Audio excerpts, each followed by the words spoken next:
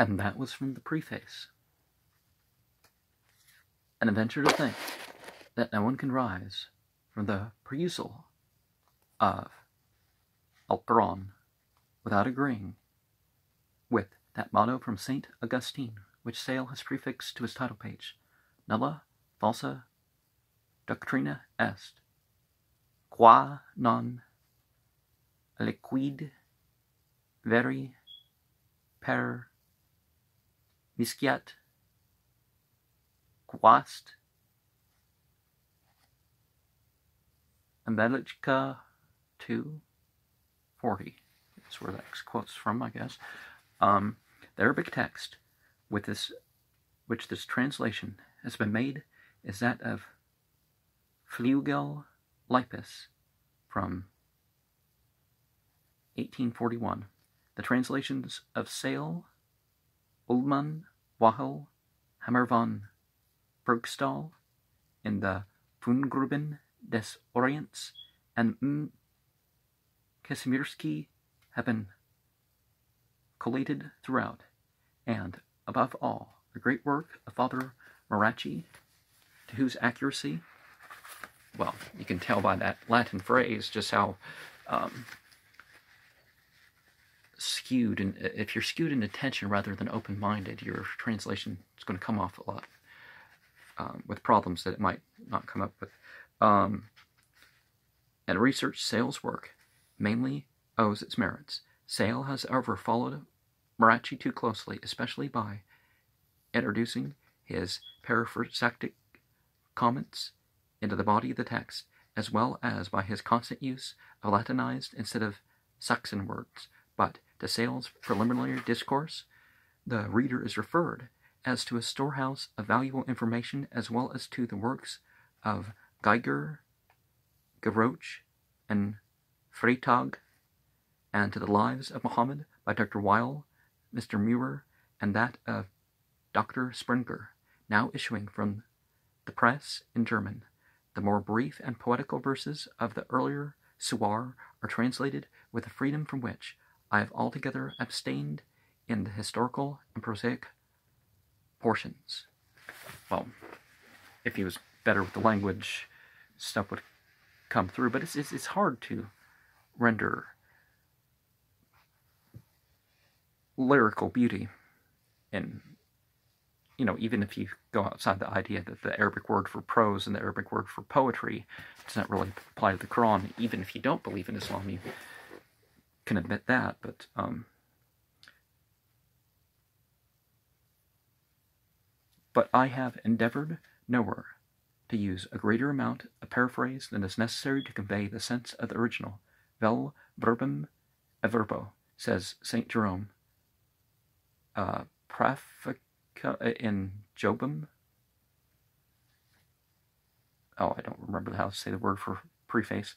Of versions. Vel sensum e sensu vel ex utrope commixtum et medi temperatum genus translationis, the proper names are usually given as in our scriptures. The English reader would not easily, would not easily recognize Noah as Noah, Lot as Lut, Moses as Musa, Abraham as Ibrahim, Pharaoh as Pharaoh, Aaron as Harun, Jesus as Isa, John as Yahya, etc.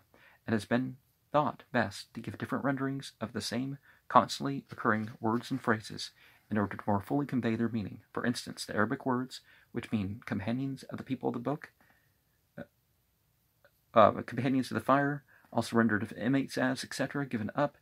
Uh, you got the people of the book, you know, the Jews, Christians, the Sabians.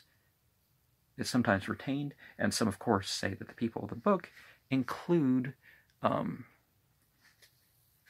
you know, include other peoples who received a scripture, but certainly not people who just followed the tribal tradition that we have a holiday here and this sort of thing. We don't really have. Um, sometimes retained, sometimes paraphrased.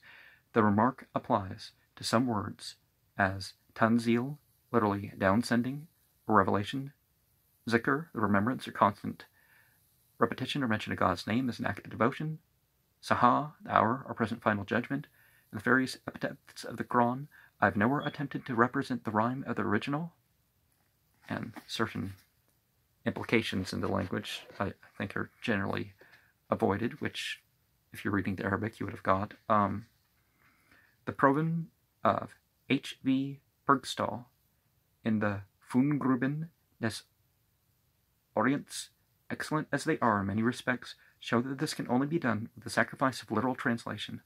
I subjoin as a specimen Lieutenant Burton's version of the Fatiha, our opening chapter of the previous editions, and Surah 8, page 28. I've endeavored, he adds, in this translation to initiate the perfect rhyme of the original Arabic. Such an attempt, however, full of difficulties, Arabic is a language in which, like Italian, is almost impossible not to rhyme. Uh, Pilgrim 2, 78. And if you look at stuff outside the Quran, you don't get the same impression. Arabs can't do the, th- you know, there are things like in various parts of the Quran that, you know, this is not something we do. The, changing the rhyme with the subject matter um, is a lot more difficult than people realize. Um, now, Urdu, I think, is easier to rhyme. You know, uh, um,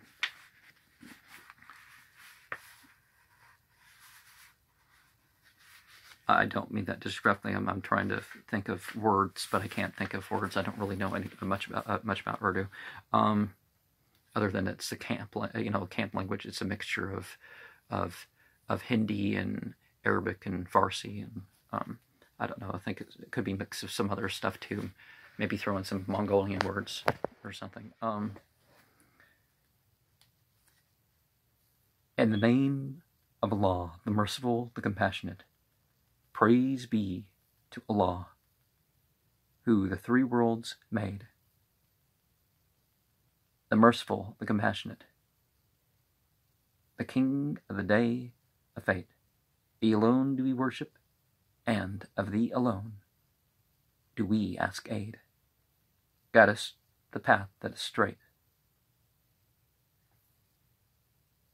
the path of those to whom thy love is great, not those on whom is hate, nor they that deviate.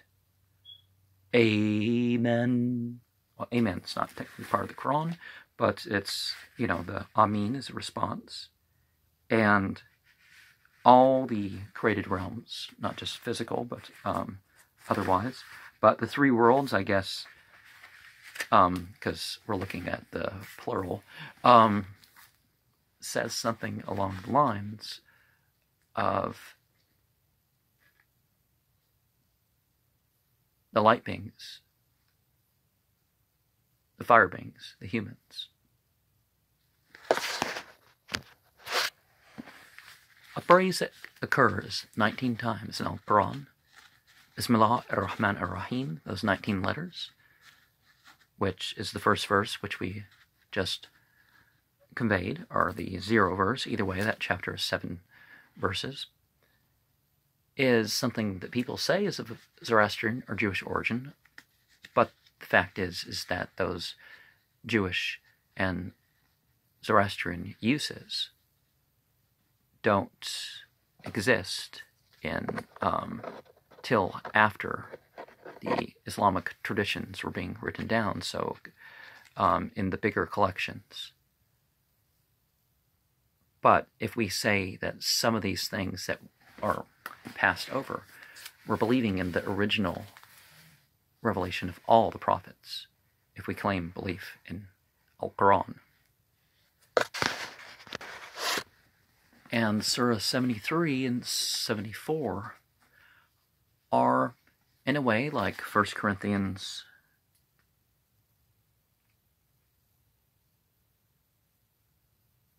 11.10 in that in covering one's shielded from something or put in a different state, you could say, but it's, I guess, clearer and more broad reaching in the Quranic use. Now, the Bible uses a lot of symbols too. In the Quran, um,